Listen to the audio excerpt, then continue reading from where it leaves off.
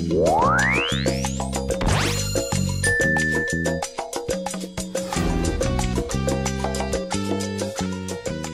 segundo caso nos llega de la mano de José Arcadio Rodríguez y él nos hace una pregunta relacionada con el servicio de gas en los condominios. Nos pregunta José Arcadio si es legal el cobro del servicio de gas doméstico en divisa y en caso que sea legal, qué problemas acarrearía para el copropietario que se niega a pagar dicha cuota. José Arcadio, el tema del suministro y el pago de, los, del servicio de gas es un tema eh, creo que bien diverso porque cada estado y cada empresa eh, proveedora del servicio pues tiene sus propias normas. Existen empresas que, se, que el pago se realiza en bolívares en unas cuentas a nombre de las empresas, pero existen otras, sobre todo este, eh, quienes resuelven el tema del gas, porque muchas veces la empresa proveedora eh, no tiene el suministro y deben acudirse a otras empresas donde sí cobran eh, directamente y a la, a la Junta de Condominio le cobran el suministro en dólares, se lo, se lo exigen en dólares. Si no se hace ese pago en dólares, sencillamente ellos no realizan el llenado de la bombona. Entonces, ante esta situación, el problema o la situación debe ser asumida por todos, porque no solamente es responsabilidad y no solamente es responsabilidad del condominio. El administrador debería de proveer una, un fondo para pagar eh, estas contingencias cuando hay que pagarlo en efectivo y evitar dejar a la comunidad sin el servicio de gas. Entonces, si ellos, si están ellos, eh, el administrador hace de de ente eh, cobrador, porque es cobrador y pagador por la fuerza de los hechos.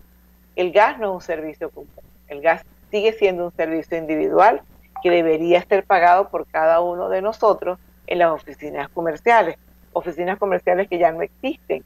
Eh, eh, algunos, algunas empresas tienen sus cuentas y, realizan, al realizar la transferencia, usted puede tener el recibo de pago obligación, pero muchas otras no lo hacen. Solamente viene el camión, se realiza el pago en efectivo y hay que hacerlo para poder tener el servicio. Entonces, en esos casos que sea así, eh, eh, hay un principio general del derecho que dice que las obligaciones deben ser eh, cumplidas de la forma que han sido pactadas. Si nosotros queremos tener gas y esta es la única vía, nuestra, nuestra recomendación es no hacer un esfuerzo de parte nuestra y no cederle esta obligación al administrador o a la junta de condominio, esto de tener que comprar o cambiar las divisas y eh, comprar, adquirir divisas cuando los vecinos pagan en bolívares, lo cual genera mayor, mayor pérdida de tiempo o inversión de tiempo. Entonces, si podemos hacerlo, ¿por qué no? Si eso al final, quien beneficia es nuestra casa, a nuestra familia, a, a las señoras de la casa, a nuestras mamás, que son las encargadas de preparar la comida. Vamos a simplificar el tema, vamos a averiguar muy bien cómo es el mecanismo, vamos a informarnos, porque realmente a veces eh, hacemos estas preguntas por la falta de información. Entonces involucrémonos un poquito más con el procedimiento, conversemos con nuestro administrador, averigüemos qué es lo que ocurre eh, para poder dar una solución y en los casos que el administrador o, la, o que tengan suficiente tiempo para hacer el, cambio, el canje de, bolívares a dólares, pues bueno, contribuyamos con eso.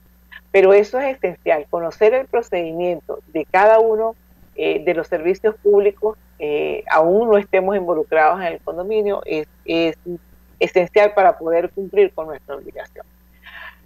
¿Cuál es el problema? ¿Cuáles son las consecuencias que acarrea la falta de pago al no negarse a pagar esta cuota? Bueno, que usted seguirá insolvente, porque una vez que usted tenga esta obligación, porque tiene un contrato de servicio con la empresa proveedora o porque no teniendo contrato de servicio está, tiene, está instalado al gas que reciben a través de la tubería, usted está obligado a pagar y está obligado a pagarlo y este cargo se le puede incorporar, o mejor dicho, se le debe incorporar en su aviso de cobro y, eh, y seguirá, la deuda seguirá persiguiéndolo no solamente a usted, sino también al inmueble, porque en materia de propiedad horizontal las deudas no son personales, son deudas inmuebles. Eh, eh, así se cambia de, propietario, es una deuda que permanece unida al inmueble. Eso es lo que podemos decirle respecto del pago del servicio de gas en los condominios.